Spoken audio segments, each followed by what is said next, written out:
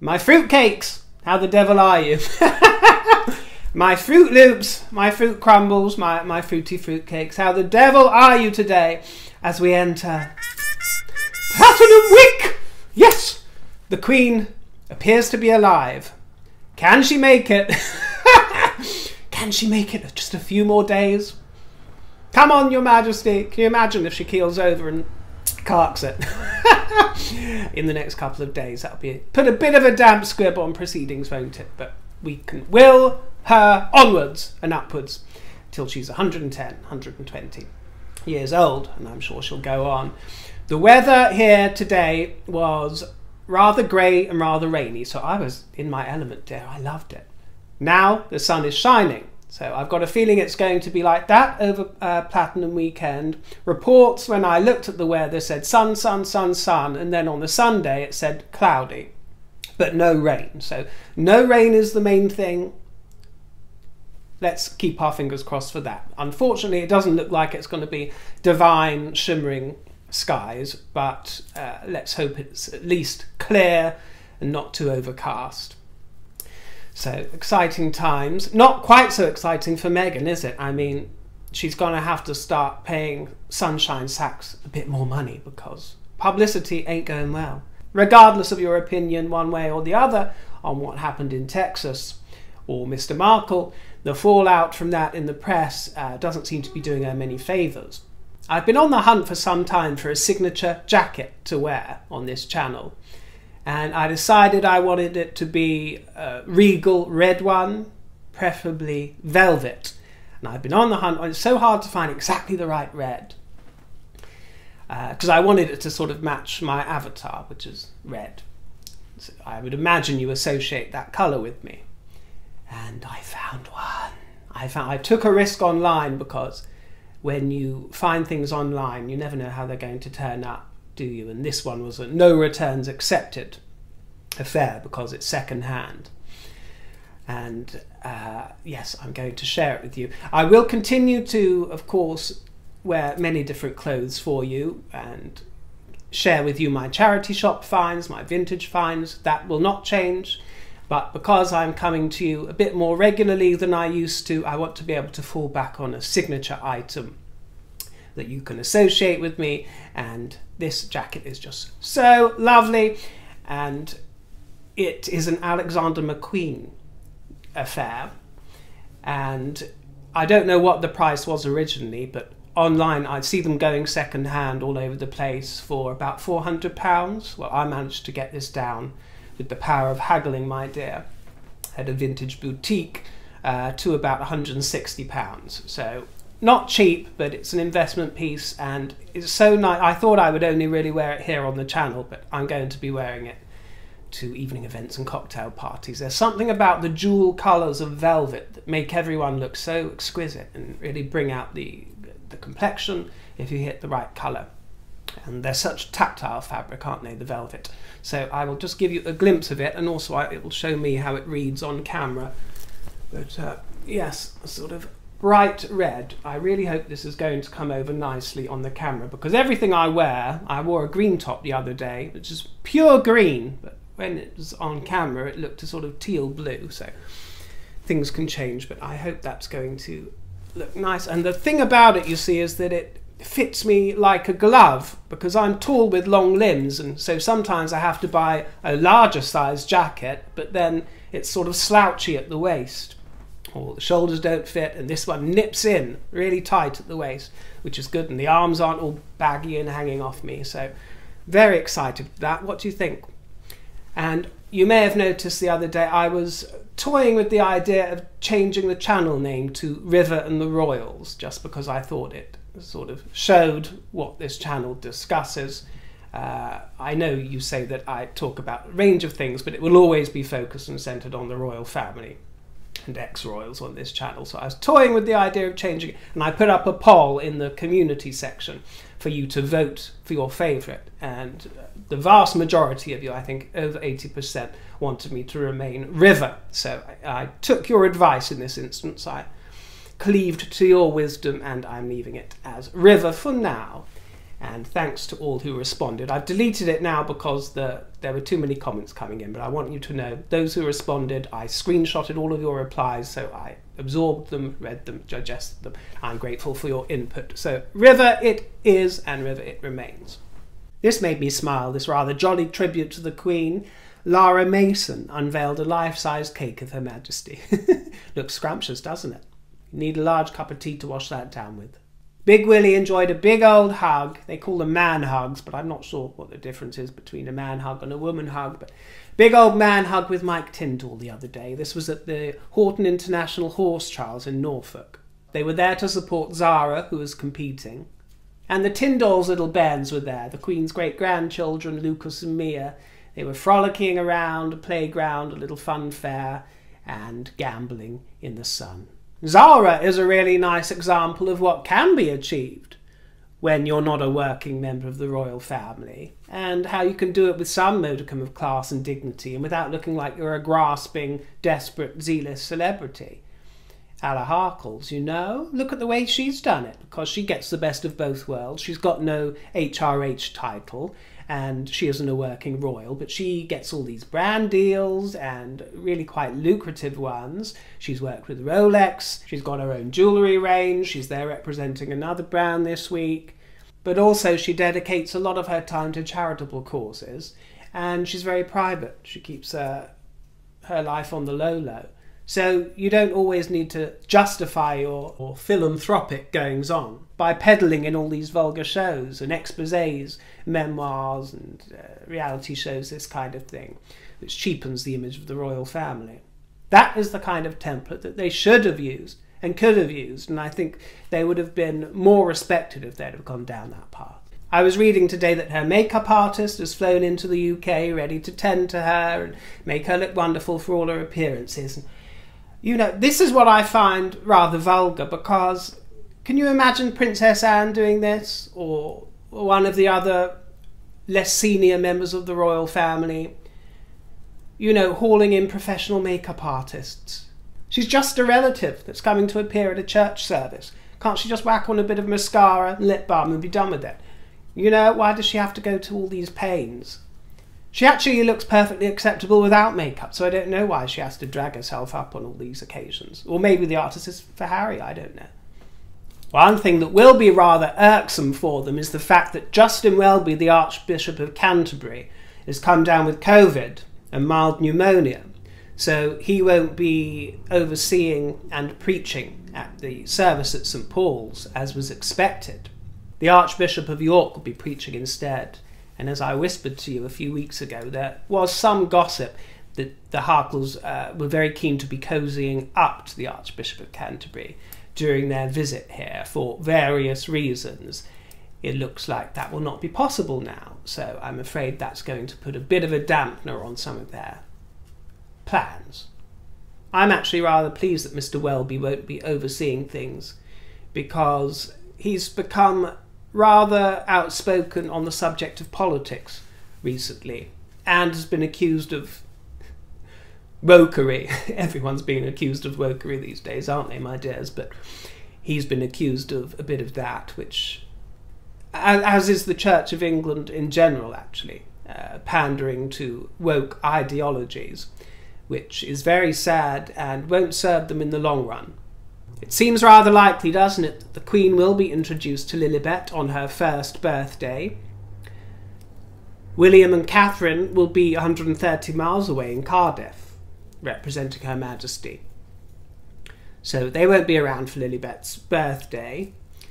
I think it's lovely that the Queen will get to meet her great granddaughter and namesake.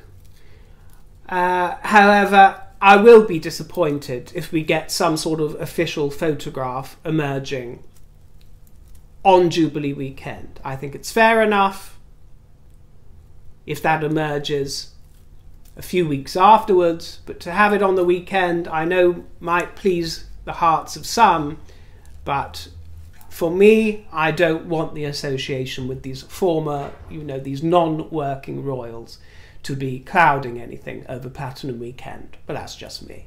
Although, of course, I have to consider the fact that even though I think they are desperate to associate Lilibet the sequel with the original, and certainly have that image of the two in their possession. Whether or not they will be happy to hand over the responsibility of that unveiling to palace officials as opposed to their own outposts remains to be seen. I'm uncomfortable that they've extended their lease at Frogmore Cottage. Even if they want to keep some kind of pied à terre or some mansion uh, in the kingdom for their purposes, I don't feel that it should be on royal property. They're not working royals. And uh, to be quite honest, stay there. My last couple of videos attracted some criticism because I defended Meghan in certain ways, not in all ways. I still criticised her, but I defended her. Actually, I didn't even defend Meghan. I simply offered a variety of explanations for her behaviour. And uh, I've disparaged Mr. Markle a couple of times. So, for those of you that asked how I could dare to defend Meghan and suggested that I'm in some way going down a new path or backtracking on what I've said before. You must be new. I've defended Meghan when I felt necessary since the beginning of this channel. I defend what I see as the truth at the time. It's why this channel sprung up, because I knew that it was a lie, that this country, this nation, is bigoted or racist. I knew that what they were saying about the royal family and our people was disingenuous, and I felt that it needed defending. And it doesn't matter who it is Catherine, Meghan, Harry, William, or anybody else. I will defend what I see as the truth and call out lies and misinformation at other quarters. I don't care where it comes from. So, just as I criticised Meghan for making the whole event in Texas all about her, whether or not her intentions were good or not, I make no apologies whatsoever for rejecting lies and misinformation that spread up around the whole thing and are thrown into a frame around what's already a rather vulgar situation. One of my chief inspirations in life is Her Majesty's reign, the way she handles obstacles and challenges. And although I certainly don't live up to that sort of immaculate uh, way of responding to things all the time, I look to it for inspiration. And it's one of the reasons I'm always telling you channel the royal spirit and stay royal. Which isn't always easy. I receive quite a lot of comments from people who say they hate Meghan and accuse her of evil. And, you know, I was watching one of the interviews of the uncle of one of the children that was murdered in Uvalde. And it was a very emotional interview lovely chap, and he was so inspiring. And in his raw, immediate grief, which was palpable, he was crying as you would. He said he held no hate towards the murderer, and he said he's forgiven him already.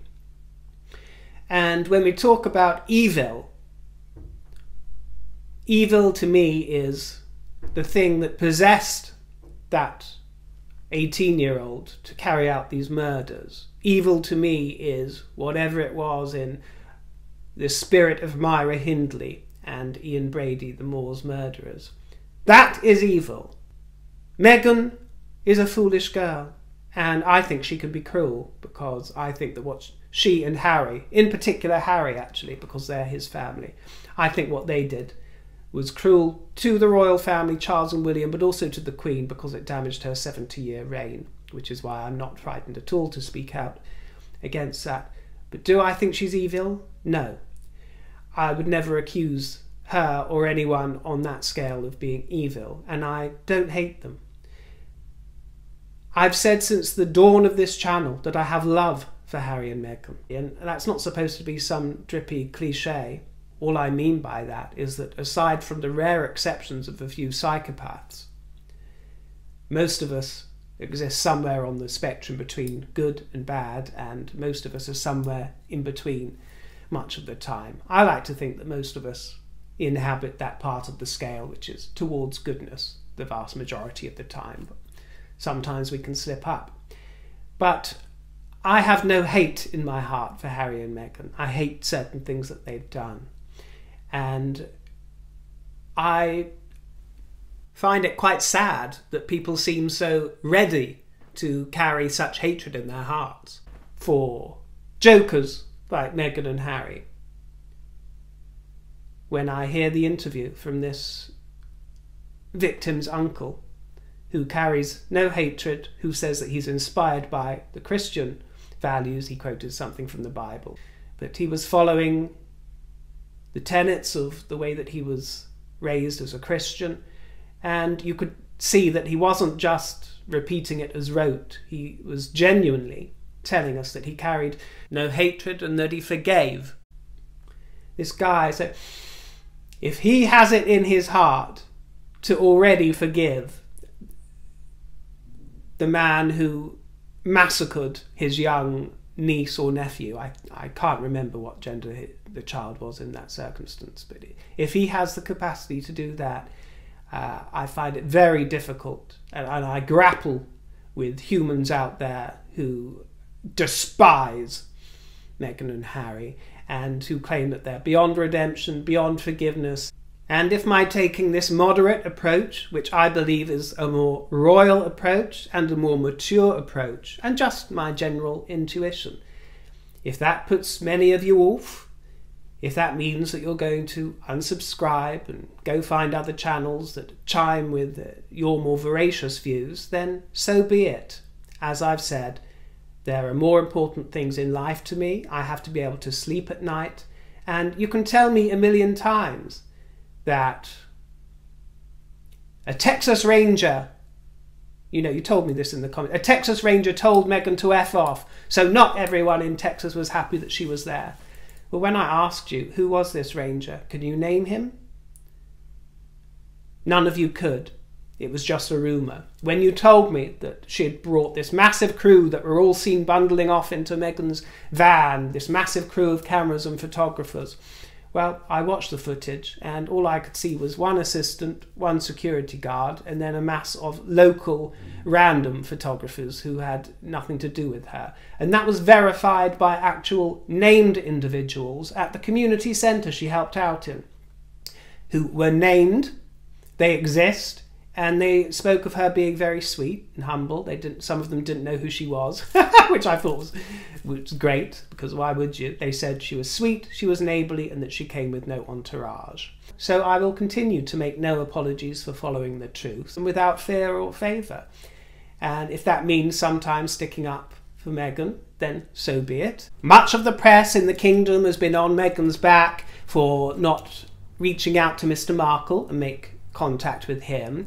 Samantha and Thomas Jr. have made their displeasure very keenly felt online and in interviews, uh, berating Meghan. Uh, I don't care. Meghan's family are like any other family to me. It's none of my business. I don't care if she talks to her father or not they're not the royal family, so people's family feuds are none of my business. Uh, I'm sure among you guys, some of you don't speak to your parents or they don't speak to you. It happens in life, and it's nothing to do with me. If Meghan has her reasons for not speaking to her father, she might have some very valid ones. You know, I saw Tom Bauer, or Bower, whatever it is, speaking as well saying that he had been talking to Mr. Markle on the phone last week. He's the chap that's writing an, another book about Meghan Markle, and he's another one that's been liaising with Mr. Markle behind the scenes, and he can't understand how she could do this to her father. I was only speaking with him a few days ago. Well, isn't the uh,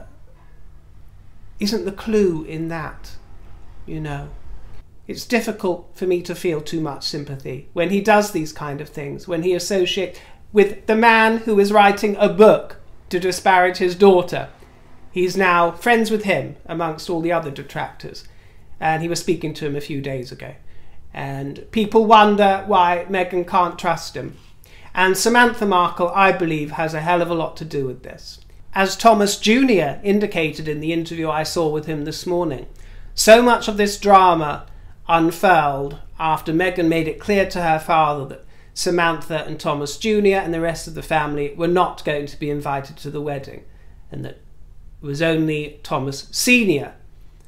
that was invited to walk her up the aisle, down the aisle, whatever it is. I believe that it was Samantha or Babe, as he calls her. I believe it was Babe's enragement at this that really complicated things between the two of them.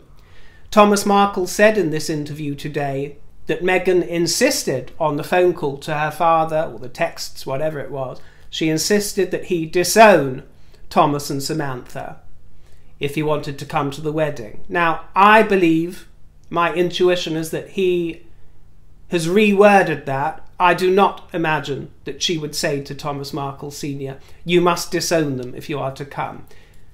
I don't believe that. I believe that has been reimagined by either Samantha or Thomas Jr. They aren't words that Harry or Meghan would say to Thomas Markle. They wouldn't say, You have to disown your children. No. I believe that Samantha and possibly Thomas Jr. put their interests before their father's interests. I believe that they should have encouraged him to go to the wedding whether or not they or anybody else was invited.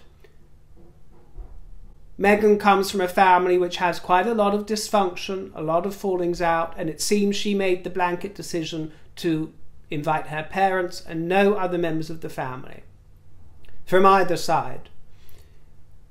And I don't blame her for not inviting Samantha Markle. She's a piece of work, in my opinion. And they're hustlers. And Samantha's daughter agrees with me. She said in a televised interview. Of course, my mother Samantha doesn't like Meghan. This is in 2018, by the way, before the wedding. Of course, Samantha doesn't like Meghan. This, as she's told me, started from a very early age. She hasn't liked Meghan since essentially she was born. She's told me stories about how she didn't want her around and how she never asked for Meghan and she's just been overall jealous of Meghan as soon as she got famous. And of course, when she started dating Prince Harry, she of course got an interest in Meghan, which she never had before. And suddenly she wants to be nice and be friends. And she's just saying how much she loves her sister after years and years of telling me and the rest of the family how much she hates Meghan and how much of a narcissist Meghan apparently is, and how much of a horrible woman is, which isn't true at all. The book she wrote about Meghan won't be a tell all, it will be a book of lies. Her rambling and her versions of what happened, none of it is going to be true. I honestly don't think Meghan has a reason to support her after all the vicious and just mean comments she's made about Meghan. She hasn't shown her any type of appreciation unless she wants money. And as I told you before, when I watched this interview, I believe every word that Samantha Markle's daughter said. I believed every word. I don't believe Samantha ever cared for Meghan, and I think that she faked the times when she did before the wedding because she wanted an invite to this wedding. And I think it's disgusting. Samantha's daughter also says she remembers Thomas Markle uh, sending Samantha checks. She said Western Union checks of five or six hundred dollars twice a month, a couple of times a month, after she claimed financial troubles. She said she had troubles, she needed groceries, and then Samantha's daughter remembers that she would spend that money on bags and shoes. And many times bills would rack up, ridiculous charges, but she re- refused to pay any of the bills. But she still kept taking uh, these uh, handouts from her father. Nothing she says is true. All she is doing is spreading lies. I think Samantha Markle should keep her nose out of Meghan's relationship with her father. I think it's Meghan's business if she wants to speak to her father or not, and I think Samantha should focus on her own relationships because her own daughter and her own mother don't speak to her, are estranged. Why don't you sort those out first and get you all talking and jiving with each other before you stick your oar into their business? Sort your own family affairs out and focus on them. If anyone has made it difficult for her to communicate with her father, if anyone has put her off trusting him with any information, it's you. You were the one, Samantha Markle, or Babe, you were the one that gave him the advice, however well intentioned, to uh, have that paparazzi shot, that stream of paparazzi shots set up. It was your advice he took, rather than uh, Prince Harry and Meghan, who said, just don't speak to the press, whatever it is, however it goes. You are the one that convinced him to go against that advice and have these uh, paparazzi shots set up, which he's now trying to sue over for, I think. It always seems to be you behind it. It always seems to be you behind the hustling. It always seems to be you behind the people that then associate with Mr. Markle and don't do his reputation any favours because they're already Meghan detractors. So why would she trust him? Why would she reach out to him when he has formed this sort of club around him, not of impartial, neutral advisors or trustees or friends, but Meghan detractors? And you expect her to reach out to him and trust him? Yeah. So Meghan is in a sticky, sticky predicament because from a PR perspective, this has got to be addressed in some kind of way. I know she wants to keep a regal silence over the machinations of her family dramas, but the silence in this case is not doing her many favours because it's leaving people able to run with whatever gossip they want. And the trouble with that is, even if she doesn't care if the world are talking about her and making wrong or right assumptions, I'm afraid it will damage her brand and it will damage her ability to merchandise. I don't see how she's going to be able to go forward continuously without addressing it. And I've thought maybe they're going to address it in Harry's memoir because he might speak of that time. Maybe she will address it in her own memoir in the coming months and years. Maybe that will happen. But because of her need and her craving to control the narrative at all costs, I can't imagine that she will let it go forever, no matter how private she wants to be about the issue. I can't imagine that she will let it go forever without putting her spin or her commentary or her truth onto whatever happened with her and her father. The Unseen Queen was broadcast on the BBC this week. Did you see it? I was confused a few days ago because there's another documentary from a few years ago called it's the other way around the Queen Unseen, the Unseen Queen, and this was the Queen Unseen, or the other way around. So there are a couple of them uh, revolving, but this was a new one with lots of unseen footage. Wasn't it wonderful to see Her Majesty with her father, who could look quite solemn and nervous in so many of his public pictures, but they were so affectionate and so loving and so sweet as a family, weren't they? It was wonderful to see that footage. And I think a lot, a lot of Her Majesty's you know, she can be accused of coldness at certain times as part of her reserve, you know, a hint of coolness. And I think a lot of it uh, comes from the death of her father because she was so in love with him as a father. And she managed to cope with his death at such a young age with such aplomb and with so little apparent damage, you know. But she must have been very damaged. But she channeled it so well and with such maturity that it only behooved her in the end. It behooved her spirit. And I think that the way she dealt with that deep psychological trauma and the scars it must have left her, with the help of her love, Prince Philip, undoubtedly, I think the way she managed to deal with that with such grace informed everything about the way she responds to the pressures and the anxieties of the world with such stillness. I think it's why she's able to look at such dramas that we see with the Harkles or whoever it is and not become invested in these things. She spoke in this documentary about, with the passage of time, one gets to look back and see how these events are just ephemeral little things which is perhaps why I don't get quite so traumatized by Meghan showing up and paying her respects with a bunch of flowers, even if it is misguided, even if it did come across as ingratiating and vulgar in some ways, which I might agree with. It's an ephemeral moment, and it's not something that I need to get my knickers in a twist about. She hasn't caused harm to anyone by doing this, uh, uh, except perhaps to herself and her image. I choose to be inspired by someone with a more mature, helpful approach, which is to respond as the Queen does, with a sense of reasoned logic, a sense of compassion. As she stated many times, she constantly turns toward and references her faith and the Christian values that were instilled in her, and that is where she draws her inspiration from. She doesn't just pay some kind of lip service and talk the talk, she walks the walk.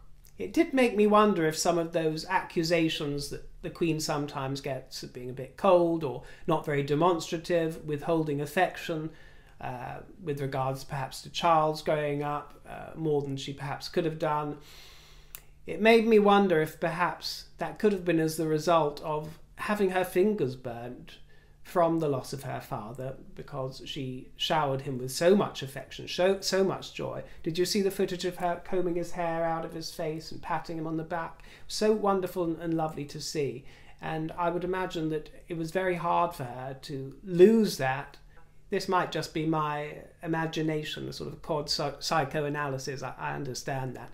I'm just, uh, this is just guesswork, but it must make it difficult for her to be quite as effusive with her affections because something in her soul must be petrified that that thing that she loves uh, will be taken from her in a cruel, swift manner again. You know, these things must echo in her psyche, which make it difficult for her to, de- to demonstrate that kind of tender affection as she once did when, when she was very young. Of course, I could be very mistaken there. I don't know what goes on behind closed doors, and I'm sure she manages to express her affection very diligently, but perhaps not quite in the same effusive manner that she was able to do with her father, because it was plain to see there for all of us in that footage which was very moving and lovely to see the queen the queen mother camping it up can't it, it's easy to see why she was so beloved and surrounded by the gays and why she loved them because camping it up my dear just there's something in the way she walks isn't there? She's such a fondant fancy it, it is just there. She's vamping it for the camera she's throwing a look here and there.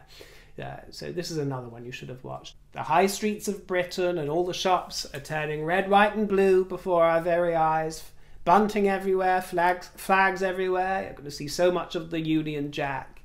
I'm sure most of you understand the history of the Union Jack and what it represents, but just for those of you who don't, because I know that I do just get some casual observers here, the Union Jack or Union flag, some people will insist that you call it the Union flag, and actually they're wrong. Jack and flag are both acceptable, and I love Union Jack, so that's what I'm going to call it. And there's actually a page on the official royal website where it's referred to as the Union Jack. But it represents uh, the four nations of the United Kingdom. It's made up of three heraldic crosses. Back in those days, in 1606 it was, the Principality of Wales was already united with England, so that was all sort of mixed in together. So it uh, unfortunately it doesn't get to have its dragon on there or one of their own sort of national colours. It is uh, with us, uh, represented by the red cross of St George, our patron saint. The white saltire of Scotland is taken from their blue and white flag, and the red saltire of St Patrick is taken from Ireland, or Northern Ireland since 1926. On its first introduction in 1606, it was just known as the British flag or the flag of Britain, but later in 1625 it began appearing as the Union flag. No one's quite sure why they started referring to it as the Jack, but back in those days, Jack meant something small, and it was rather a small little flag that was flown from the mast on the bowsprit of a vessel, extending forward from the vessel's prow and by 1674 it was described formally as His Majesty's Jack and officially acknowledged as the Union Jack. And because it was King James I that originally ordered the flag, people associate Jack with him because he used to sign off as Jacques in his signature. I've seen letters that he used to write his cousin abroad in French. He used a lot of French and would refer to himself as Jacques. So there was that association, and because it was His Majesty's Jack, people were rumoured to have started using it because of King James. But by the 18th century, the short mast on the bowsprit was replaced by staysails, and the ensign took over as the principal distinguishing naval flag. So it grew customary to fly the Union Jack only when in harbour. In 1902, an Admiralty circular announced that either name, Union Jack or Union Flag, could be used officially, and in 1908, UK Parliament approved this verdict, stating that the Union Jack should be regarded as the national flag. So I've had my knuckles rapped in the past for calling it the Union Jack by people who say, oh, it's, it's the Union flag, not the Jack, unless you're at sea. Well, apparently not. Apparently you can take your pick and call it whatever you like, and it's just as official. Thanks for popping in my fruit crumbles, and I'll see you in the next broadcast. If you'd like to treat me to a little cup of coffee, my tip jar's in the description box below, or a scrumptious slice of cake. I might have to treat myself to a lovely scrumptious slice of cake this week because it's Platinum Week. So there's an excuse for delicious pastries. See you soon, my dears. Toodle pip.